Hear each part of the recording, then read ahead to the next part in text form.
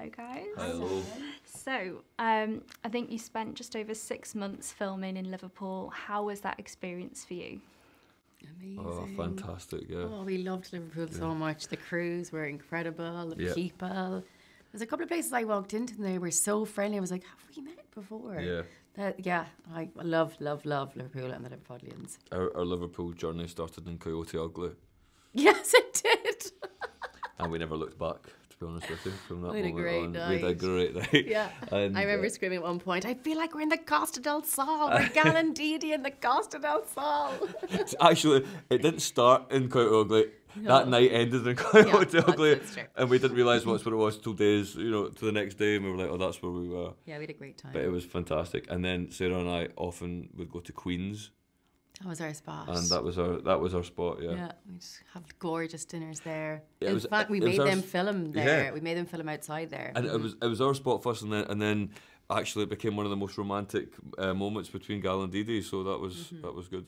You know, your accents are not your typical London accents. How was that process for you and getting to where you were in the in the series? I mean, I couldn't tell watching it. So It- it's more difficult when you're surrounded by Scousers, yeah. for sure. Yes, it was that. I did find that difficult. And you yeah. were like trying to do Cockney, and then yeah. Yeah, our makeup artists were uh, from Manchester, Yeah, and yeah. now and again I'd be like, "Oh no, oh no, it's drifting."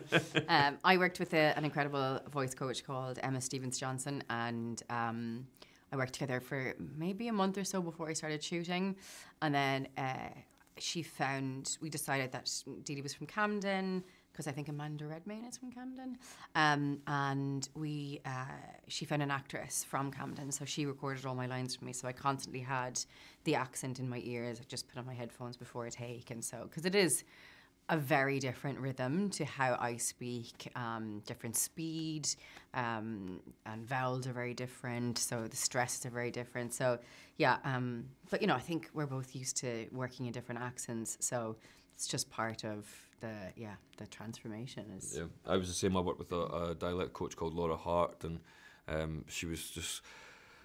I think you know, especially with Cockney, it's like we, we wanted a more old-fashioned Cockney. We want because the show's quite heightened, and we wanted the accents to be. There would be a temptation to play under or play modern London or anything. We didn't want that. We wanted the more romantic, um, heightened ver- version of it. So that's definitely something we lead into. And I think I was so grateful for that dialect coach because there's loads of um, uh, uh, trip hazards because you, it's easy to do a generalised version of that. So what was great about Laura, she kept kept me really specific, and um, that was our, our way in.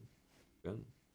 So we've gone from uh, your voice to the transformation of yourselves into your characters. So for you, James, getting your getting blonde streaks in your hair, how was that process for you? How many times did you have to have that done? I mean, I think about four times or something over the over the whole course, and uh, oh yeah, I got a, I got a slagging for that from home. But now that now they're all doing it, now everyone's doing it. So I'm like, you know, and uh, uh, I wish I had them now. No, I didn't. I was it was.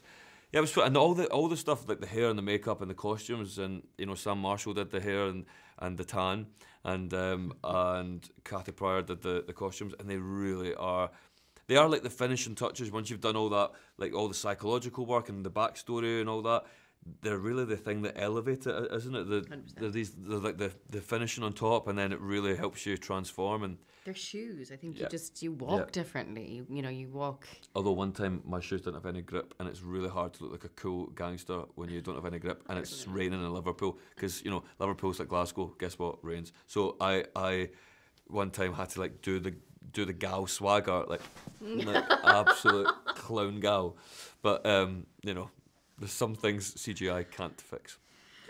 But anyway, it was you know it was fine. We just didn't wear those shoes again. Apart from that, brilliant. If you could describe your character in three words, how would you describe them? Um, Deedee is uh, ambitious, um, body confident, and uh, and vulnerable. Gal is a turbo sexy beast.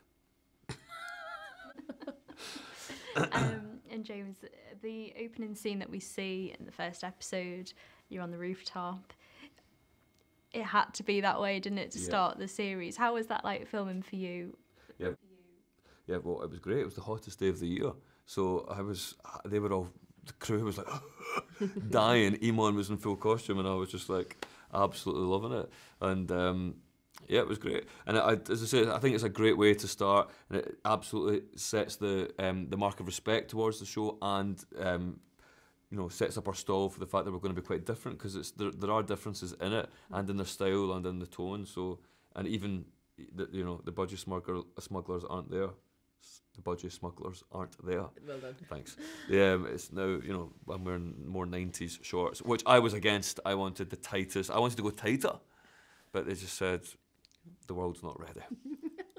I also think it's just so nice that you get to you're, you're straight into the Gal and Don storyline and their dynamic and how their dynamic is so wildly different from the film. So you know you're going to go on a massive journey with these characters. Did you sit down um, or talk about how you wanted to develop your backstory from obviously the cult film to the series, or was it very much you just went in and just went with it? Our hands, the writers do that. I mean, we try to give input, and we do. We did give input and ideas, but um, yeah, the whole arc was kind of out of our hands. Um, uh, right? Yeah, yeah. Yeah. we would like more scenes together, basically. Um, But they, they know that it's tension for the audience. They want to keep us apart as long as possible. Yeah. But we were just, come on. yeah. The very first day we shot together, though, is that first opening sequence where they meet um, in the nightclub, and that was the, f- and I, I think that did add an element of you know sexual tension and just a, a little bit of magic that we had been we'd done a little bit of rehearsals together, but because you're meeting them at the beginning of their journey, there was it, there wasn't much backstory we could plan together, you know, Mm. because we were you know we were starting on this journey with the characters, with the audience. Um, There was a real charge that day. I think I think it helped that that was the first time the characters meet. It was our first scene together, and I think I don't know I don't know if I've ever, we've ever spoke about this, but I remember there being a charge. It was the first time Sarah and I together. We knew the journey we were going to go on together, but also I really understood the scale of the show for the first time. Like I really. Um, I remember being really impressed by that, you know. yeah, I think the and, lighting design. yeah I think the you know the how cinematic and theatrical it was. It was really theatrical. You know, theatrical, and yeah. that really uh, was it was exciting to play. I think it was my first day on set as well. For the entire shoot, was, yeah. so yeah, that brings an element of like, oh, it's your first day at school. So, Mm. um, yeah, I think it definitely helped that opening um, meeting of the two when they first fall in love. Definitely. And so from that, what was your most memorable scene that you filmed? Um, all my scenes with James. Oh, two in particular. I think the scene in the flat um, after Yeah. the party. I Yeah. loved that scene. I loved shooting that scene. Again, that was early days for us. Yeah. Um, and and then the scene where they, um, I don't know how many episodes you've watched. All of them. Okay. Um, the scene where um, Deedee feels like Gala's judging her for the first time, and they have a, a fight. That was Yeah.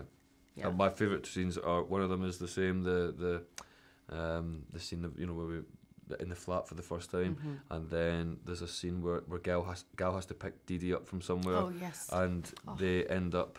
He gives her he gives her his uh, suit jacket, and they just have a smoke, um, leaning on his his BMW, and um, I just loved that scene so so much. And Mm-hmm. which was quite different. We we we performed it quite differently to how it was written on the page. I think. Yeah. Uh, yeah.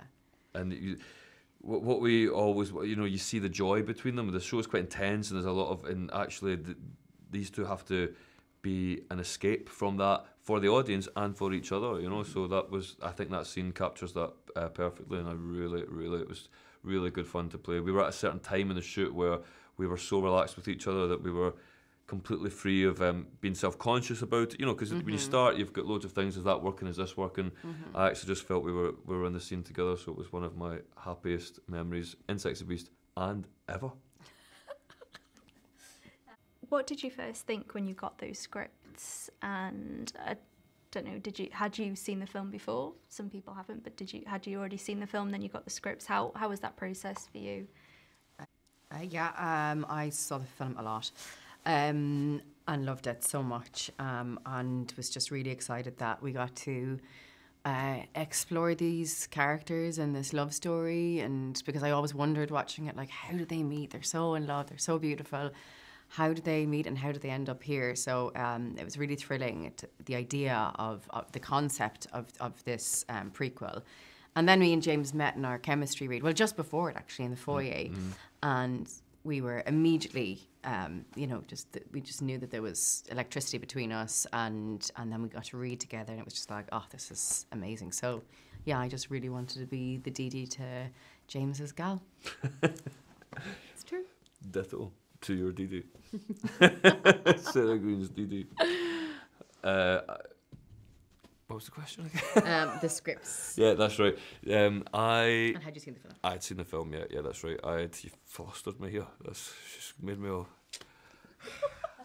yeah, um, uh, yeah. I'd seen the film and loved the film, but um, was really excited about you know being able to reinvent it and do and do something different with it. So it was, di- and I felt the scripts d- did that and they had their own distinct tone and identity. So that was um, that was good. And now that we- we've seen the finished project, I'm so glad that there is this. It's, it's really fast paced and it's um, you know it's escape it's a real escapism Yeah. in it you know like it's so good i'm glad that we're coming out in winter because it's just you know switch off your brain and just let it let it wash over you it's really an adrenaline an adrenaline kick the series so um, with and uh, that's helped a lot by the the banging 90s soundtrack and the gorgeous liverpool locations Yes. What a great note to end on. Thank you. Thank, you so you. much, Lauren.